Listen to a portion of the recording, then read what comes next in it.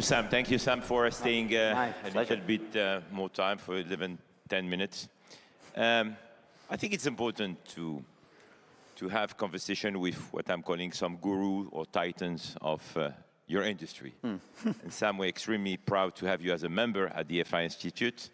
And each time we speak, I don't know where your limits. So I want to understand more about your journey and how um, a gentleman like you who, in case you don't know deeply what uh, Sam is coming from, not just as a media and technology investor, but uh, who, who uh, I would say, uh, prior to Galaxy, he was also a partner at managing group at Lambert Media, but more importantly, he graduated from Harvard Law School, University of Oxford, University of Boulder, Colorado.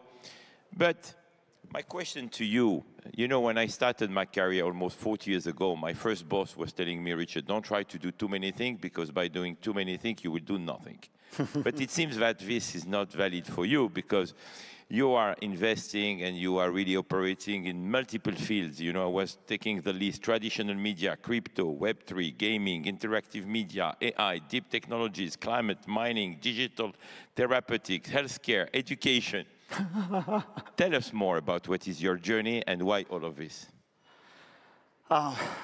Well, first of all, thank you for having me out here. It's an honor, and, uh, and, and it's been an amazing couple days, and I'm always so impressed with the people you gather, and, and, and I really do feel uh, humbled to be having this conversation with you. Um, I, I think, you know, when you put it that way, I'm kind of asking myself, wow, am I, am I doing too many things here? um, my path, I, in anticipation of us talking, I was thinking you know, on the ride over here, what is the common thread? Um, because it, for sure, I've been interested in, in a lot of different things, and you know, now I go back on it and I try to decide, okay, what took me from media uh, and, and into what for me was really, at first, a fairly linear path. I was, you know, a philosophy nerd that was going to go get a PhD in philosophy and then was talked into going to law school so I could do You're like Alex practical. Was- Philosophy is bringing everywhere now. well, and it, it- we can come back to that, but I think if you were, you know, interested like I was in philosophy of mind in particular and consciousness, it's actually amazing to now be on this side 25 years later from after my studies and looking at technologies that are bringing into practical reality all of these thought experiments that we used to just sit around the table uh, and, and and discuss with each other. We're now living them uh, and, and in a moment in this exponential or on this exponential curve where we're, we're living them, we're asking the questions, and the answers are happening in real time. Uh, and in many cases, I think faster than, uh, than we're ready for, and then maybe faster than most people even realize. And that's a really important part of this conversation. Um, but for me, the, the common thread was ultimately just being fortunate eno- enough, I think, to uh, be a nerd and, and hover around at 30,000 feet looking at what was interesting and then find a way to dive really deep into the things that I thought mattered. And that's been the thread. And it, it actually um, continues for me today to, to be fundamentally first about um, how, how do I just surround myself with the people that I want to spend time with and that inspire me to think about things in unique ways or, or even just to kind of buzz at a frequency that I think is optimal for taking action. And, and that you can apply to, to anything. And so in my case, media was super interesting. Uh, I got into the video game industry in 2009 and invested in my, my first game studio then after having been in really traditional media. I used to say for 10 years, every old media business that's been in secular decline, I was probably involved in trying to build or put together or operate. Uh, and then I discovered games and, and realized, wow, it's, it's, uh, it's a lot easier to just step in front of the traffic, as my old partner and mentor Michael Lambert used to say. It's like, you know, you, you can go fight and try to catch these melting ice cubes, or you can really just go do something that's, that's got growth potential. And that set me into spending time and, looking at emerging media and higher growth uh, digital businesses. But the, the, the people that I was meeting along the way and the quality of the conversations and energetically and emotionally just feeling excited and in flow to address these issues i- i- is what got me excited and what drove really all the decisions that I made. But as a visionary, really, which you are, and uh, futuristic, how do you see the next 20 years? How do you see the future of uh, news media? How do you see the future of VCs? How do you see your future? you know, I, if you had asked me that question, probably if we were sitting up here at any time in the last several million years, and you asked me that question, you said, Tell me what the future in 20 years is going to look like, or tell me what the future in a thousand years is going to look like, I would have been able to answer that question. and that was true for like so much of human history. And now, I think it would be incredibly naive to tell you I know or have, have much insight into what 20 years from now is going to look like. I mean, I think it's, it's generally been the case in my life that things don't happen quite as, as fast as you believe they will. And I, I do think that's still the case, even though we're like on this, on this bottom of this exponential curve, maybe. Um, but I'm quite certain that, um, that, that things are going to look um, pretty radically different in 20 years. And I don't think they're going to be the worst, most dystopian version of because of, of AI or. Uh... I, not just because of AI, but AI is one of the exponential technologies that we are all living with and amongst and, and developing and building. What else I, would have an impact on our future?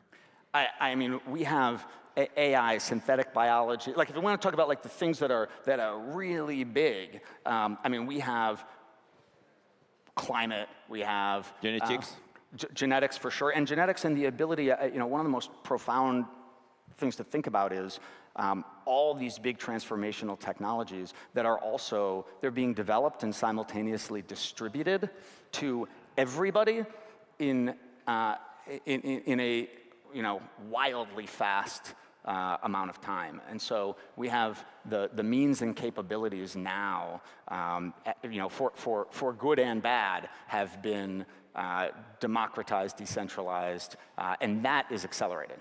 And we just have to be aware of it. And I, and I think it's, you know, the first thing that we need to do is accept that that is what's happening. I don't think we can contain it.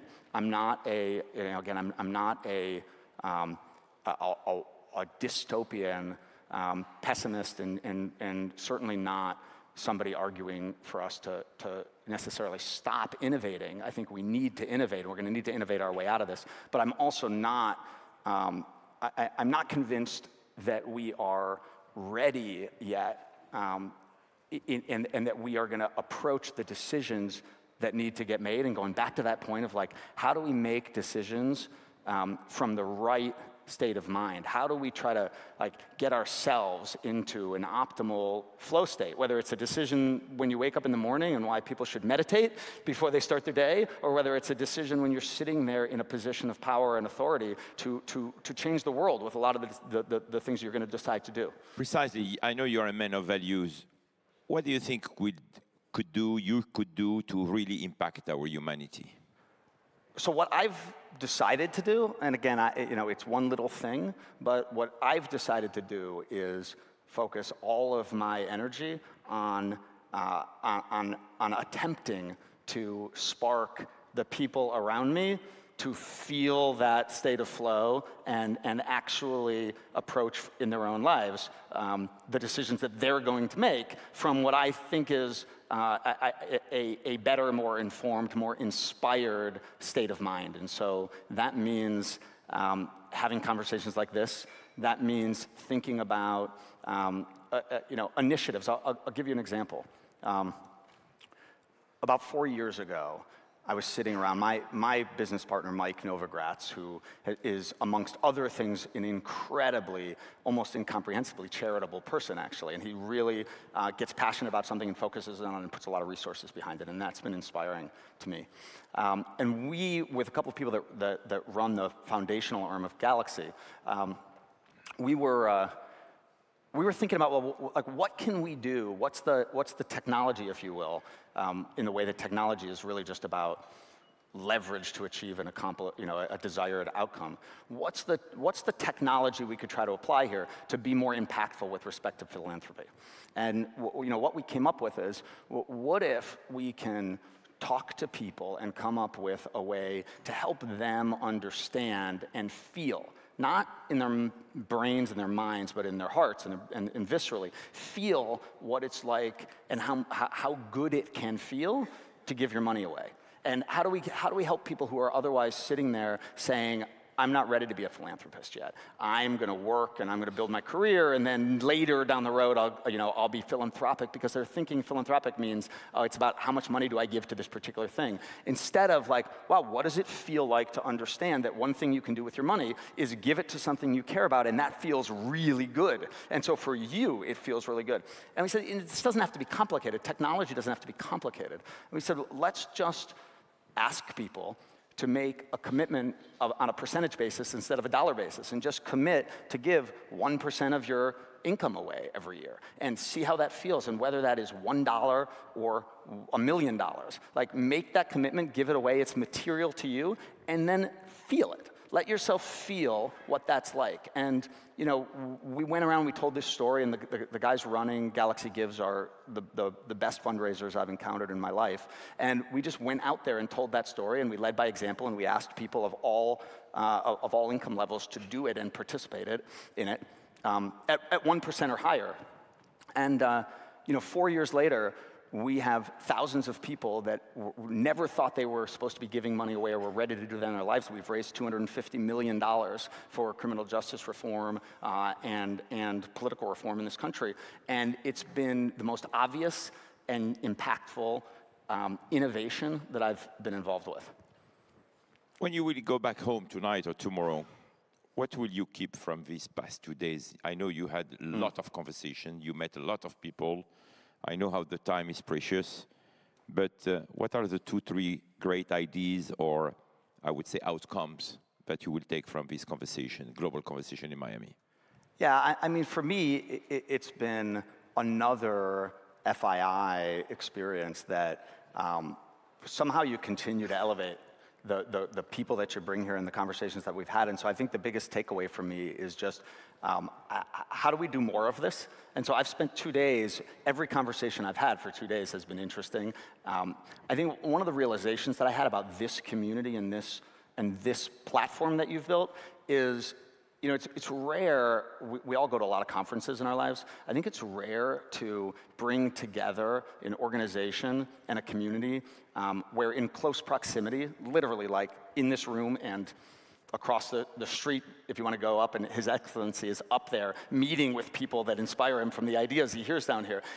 I, have never seen the combination of uh, an organization that has both uh, a mandate and the resources to actually implement the, the ideas that we all create here together. And so for me, I think it's, um, it's that proximity of mandate and resources um, that we need to try to you know, continue to build and preserve and activate. Uh, and, and then, again, state of mind. How do we bring people uh, together? How do we get them into flow? How do we get everybody buzzing here with like feeling like they can make a difference and they're excited to try? And then give them the results that shows that this is worth everybody's time. Last question. Mm. If you have one geography and one sector to invest today, which will be? Uh, so, so for me, it is it is flow state inducing technologies. So how do we, whether that's digital or analog, like what I think everybody needs to be focused on is how, what is out there that we can build, what, whether it's an analog tech like a conference, or whether it's a digital experience like a, an empathy, you know, uh, inducing uh, immersive VR experience, whatever we want to talk about, how do we focus on um, on, on, on, putting people into the right state of mind to take action because the, what we don't know, and I'm certain we don't know, what is coming that we're going to need to address, but we need to be ready to make the right decisions. And if you have to put your money somewhere, where it will be? One, just one sector. Oh, wow. Uh, did, As an investor, which advice would you give? For me, it's, it, I mean, I'm pitching my own book here, but it's, uh, it, you know, it's the convergence of digital and, and, and, physical experiences. And for me, uh, especially right now, that is about um, digital therapeutics and, and, and, and how do we take the best of what I've seen in, and the behaviors that I see, especially our young people learning in mass from video games and from the other stuff that they're experiencing, how do we apply that to things that are going to in, induce flow state for them? Ladies and gentlemen, please, a round of applause for Sam Englebardt. Thank you. Thanks, Thank you, Sam. Thanks. That's great. Thanks. Yeah, really good. Thanks, Richard.